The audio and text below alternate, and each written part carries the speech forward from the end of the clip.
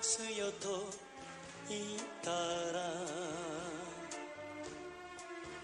あなたは寂しく微笑みながらそんなことをしたら不幸になるわ。忘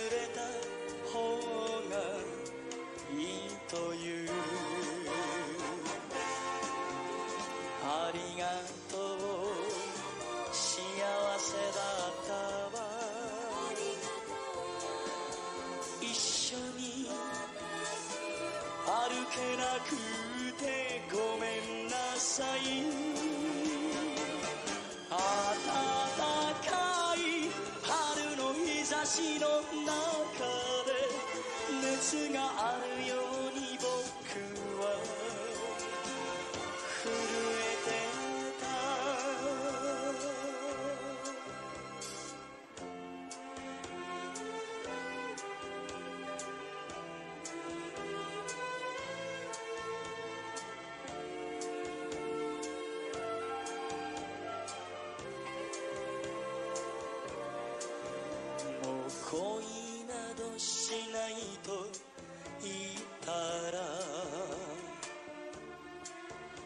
あなたはバカねとつぶやきながら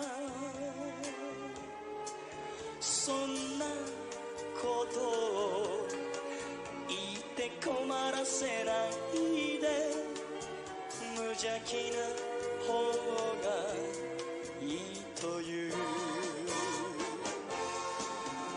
ありがとう。幸せだった。できれば